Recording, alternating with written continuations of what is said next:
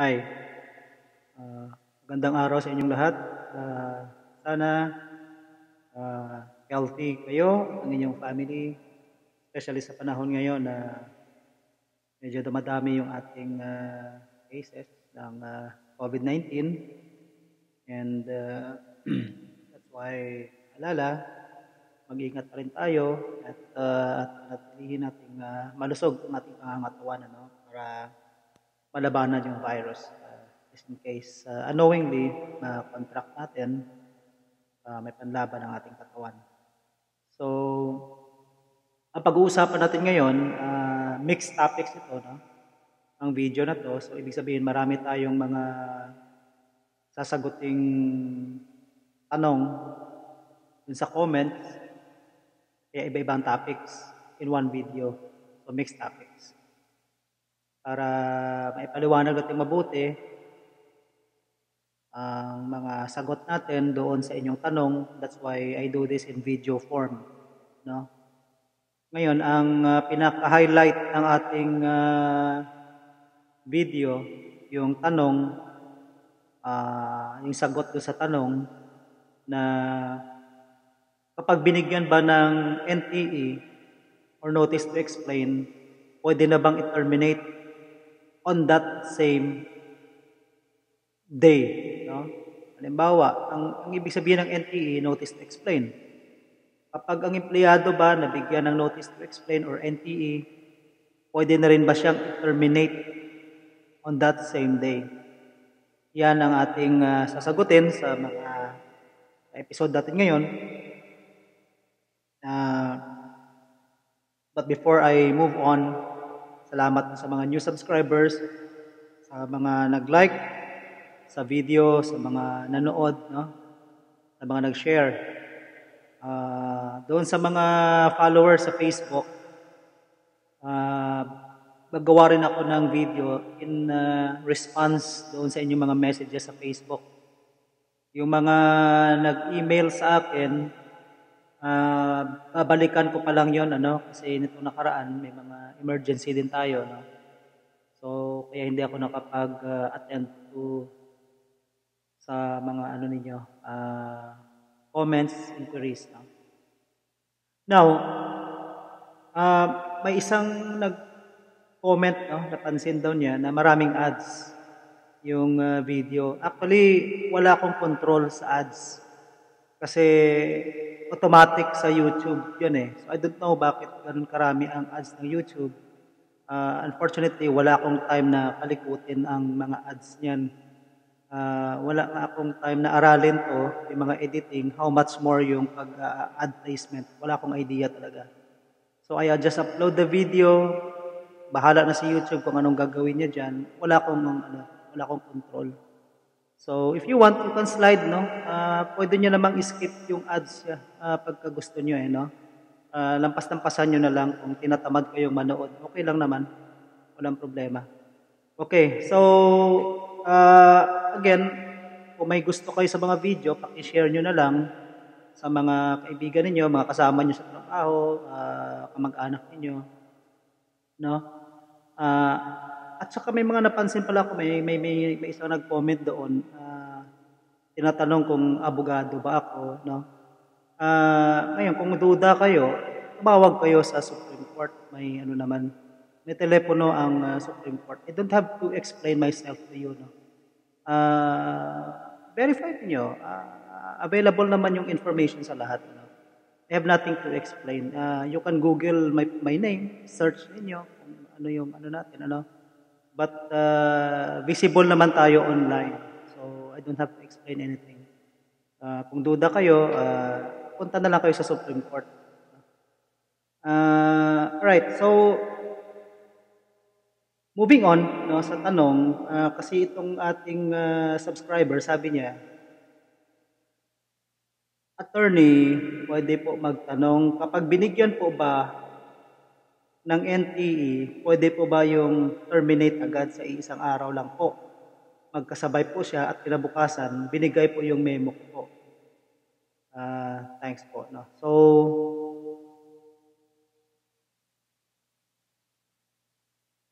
sa iisang araw lang. magkasabay po siya. At kinabukasan binigay po yung memo ko po. So, ang basa ko doon sa tanong niya, kasi medyo magulo lang, uh, binigyan siya ng NTE, okay, tapos pwede daw bang terminate agad sa isang araw lang. So, ang intindi ko doon, in the same day na nakatanggap siya ng NTE or notice to explain, terminate siya. Okay? Pero sabi niya rin dito, at kinabukasan binigay po yung memo. So, ang intindi ko, uh, sinabihan siya, terminated din siya that day, pero yung memo of termination niya binigay the following day, no? Or, tingnan din natin yung possibility na ang ibig niya sabihin, uh, nakakauha siya ng NTE ngayong araw, bukas binigay sa kanya yung notice of termination. Okay, ano ba ang katakaran dyan sa mga NTE na yan? Uh, sa ilalim ng ating labor code, Article 292, no? Uh, meron kasi dyan na parang ano eh, uh, yung uh, proseso, no? proseso ng uh, pag-terminate sa isang empleyado. Sabi ng labor code, kailangan merong uh, notices no? and hearing.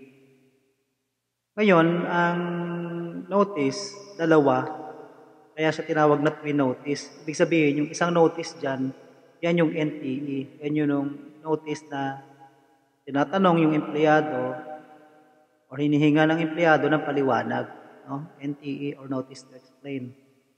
And then, yung second notice dyan, yung notice of dismissal or termination. So, yan ang dalawang yan ang tawag sa kanila, twin notice. Kaya sinabi, sinabi ng Supreme Court dyan, twin notice rule kasi required yan. Required. Ngayon, in between, merong hearing or conference. No? Uh, ang tanong, kailan dapat mag-reply si empleyado pag binigyan siya ng NTE? Ang sagot, nasa desisyon ng Korte Suprema sa kaso ng King, ang King, and, uh, King of Kings Transport versus Mamak. No? Yan yung King of Kings Transport, yan yung bus company na pagmamayari ni Claire de la Fuente. So, Diyan, sinabi ng Supreme Court na ang empleyado bibigyan ng limang araw para sagutin ang NTE. No? Calendar days. Ibig sabihin, Sabado, Linggo, or holiday, and holidays kasama sa bilang ng limang araw. So, ibig sabihin, hindi pwedeng biglang termination yan. Kasi five days na yung required ng batas. Okay? Ngayon, itong sa kanya, kung the same day, hindi may violation agad yan. No? May violation. Kahit sabihin natin na ang i-interpret natin yung kanyang tanong na the next day pa binigay sa kanya ang memo as one day apart yung NTE at yung notice of termination, parehas pa rin. That's still less than five calendar days may violation pa rin. Ano ba ang na-violate? Ang na-violate, yung tinatawag na procedural due process. Ano yung procedural due process? Ito yung proseso na dapat sinusunod ng mga employer sa pagtanggal. No? Kaya sa tinawag na procedure, dahil iyan ang steps. Step 1, NTE, give employees 5 calendar days to reply. Huwag mong i-shortcut. Okay? Pag sinortcut, may violation ng procedural due process. Ano ang consequence kapag binayolate ng employer ang procedural due process? Ang consequence niyan, ha, merong magiging liable ang employer ng indemnity in the form of nominal damages. Kapag just cause ang pagtanggal, 30,000 ang ibabayad sa empleyadong hindi nabigyan ng tamang procedural due process. Kung tinanggal ang empleyado, same day, na binigyan siya ng NTE, meron agad 30,000 na i-award sa kanya kasi merong violation of procedural due process. Okay? So, ganyan ang nangyari dito sa ating subscriber. Na sinabi niya, terminate siya agad-agad from the time na nakatanggap siya ng NTE. Okay, uh, next question. Sabi dito, uh, Attorney, salamat.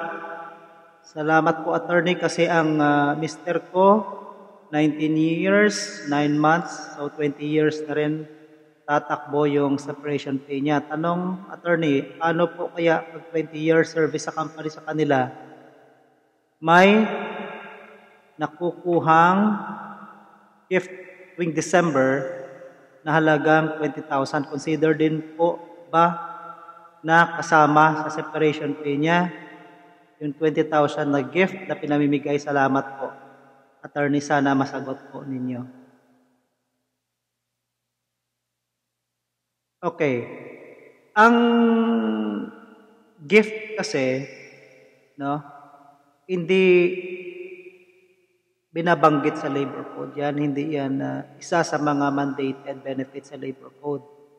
Gift, walang ganon sa labor code. Ano? Uh, pag sinabi mo kasing gift, it's more of liberality. Diba? Yung kagandahang puso ng employer, kaya niya binibigay. So, hindi dahil sa obligado siya ng batas o ng kung sino man. Hindi, yun ay busilak ng kanyang puso o damdamin. Kaya, binibigay niya, no, gift. Ang gift, you don't demand that, no? Ang gift, deserve ka dapat, deserving ka dapat. Ano? Parang ganon in, in, in, in principle ang nature ng gift. So, wala sa labor code yan. In general, hindi demandable. Pero may mga benefits na binibigay sa empleyado na kahit wala sa labor code, nagiging demandable.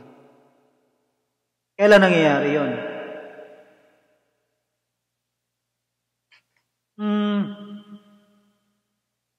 Nangyayari yon kapag ka ang uh, kumpanya ay gumawa ng policy na may mga benefits na ginagawa niyang uh, ibinibigay niya sa mga empleyado kahit na hindi naman nire-require ng batas. O may practice sa loob ng uh, kumpanya na binibigay niya yon kahit hindi naman minamandate ng batas. Ngayon, itong gift, sabi natin, wala sa labor code yan. Pero, kung si company may policy na binibigay sa mga empleyado yan, tuwing December, nakasulat ang policy, ginagawa talaga ng company, gaya na sinasabi dito sa comment, then becomes a binding agreement or practice between the company and the employee. So nagiging demandable na ngayon yan. Kahit wala sa labor code, obligasyon na ni company na ibigay sa employee. Okay? So, sabi niya dito, 20,000 na binibigay bilang gift, no? Wing December. Ngayon, ang sagot dyan, kung may policy na tuwing December nga binibigay yan, eh, entitled talaga si empleyado dyan. Just make sure lang na walang qualification ang pagbigay ng gift na yan. Ano yung mga pwedeng qualification?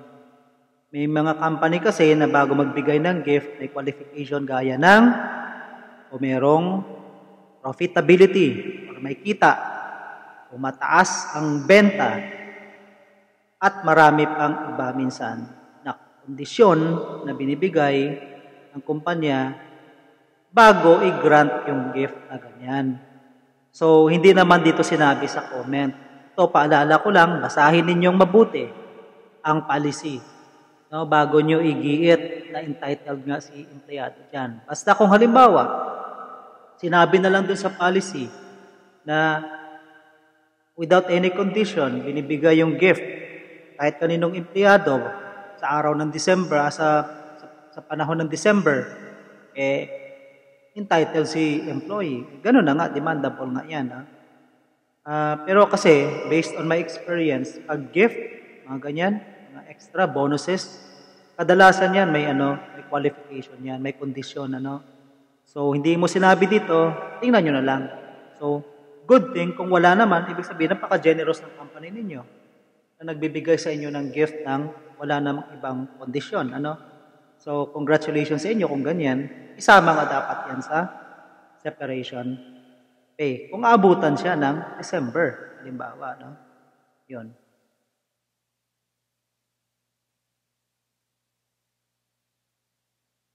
Twenty years in service, no?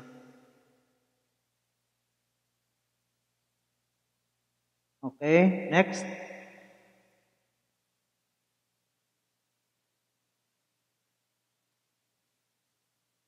Oh, may mga nag-greet pa sa akin ng belated uh, Happy birthday, no?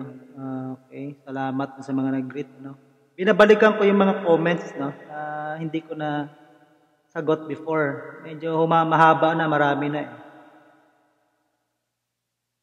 Attorney Elvin, uh, have a blessed day po. Isa po akong subscriber mo. First of all, I would like to thank sa mga na-share mong video about labor code. Um,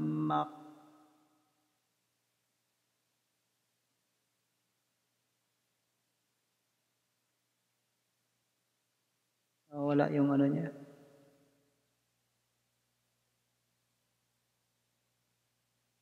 Wala yung ito comment niya, hindi ko mabuksan.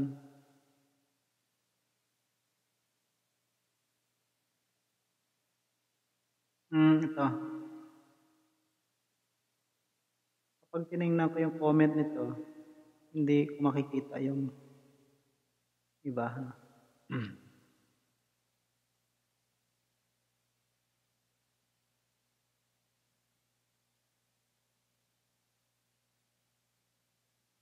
So itong tanong ni Arnel, sabi niya, Attorney Alvin, have a blessed day po. Uh, isa po akong subscriber mo, itanong ko lang about sa union officers. After po ba mag-expire ng SEBA at pagkaroon ng certification of election, yun po bang mga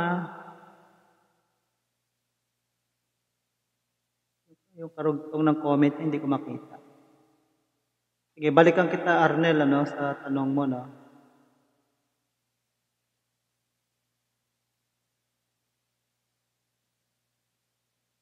Next, sabi niya, Attorney, good morning po. Ask ko lang kung uh, may karapatan po ba kung ang workers i-transfer sa ibang site alot na malayo sa lugar ng worker. Kung may karapatan pa siyang tumanggi. Uh, kasi ang pag-transfer ng empleyado ay isang management prerogative. Ibig sabihin ng prerogative, yan ay karapatan ng employer? Kasama sa mga pwede niyang gawin para i-pursue ang kanyang business. Ngayon, merong transfer na legal at merong transfer na illegal. Yung transfer na legal, ito yung transfer na bunsod ng pangangailangan ng operation. Ano? Ibig sabihin, kung talagang kailangan-kailangan ilipat yung empleyado dahil kailangan-kailangan yung skill niya doon, yung presence niya doon, de, magiging valid ang transfer kasi exercise ng management prerogative.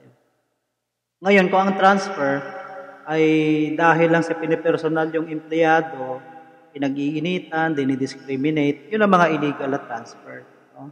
So, in that case, uh, magiging constructive dismissal ang transfer na illegal. Ngayon, tingnan mo, kapag ang transfer mo ay bunsod ng operational needs ng kumpanya, hindi ka pwedeng tumanggi dyan. Kasi makakasuhan ka ng uh, uh, insubordination ano, or willful disobedience, no? which is a ground for termination under Article 297 ng Labor Code. Pero kung pinag-iinitan ka lang, no, uh, dinidiscriminate against ka, no, ah, may problema ang kumpanya sa iyo diyan kasi pwede mong ah, balikan ang kumpanya ng constructive dismissal. No? So, may urgent lang ako, no? ah, nag-text sa akin. So, putulin ko muna ang aking video and in fact, 20 minutes na rin para hindi masyado din marami yung ads na ilalagay ng YouTube. Ano? So, ililimit ko muna to sa 20 minutes. Babalikan ko na lang yung ibang ah, questions. Alright? So, with that, thank you for watching. Stay safe and God bless.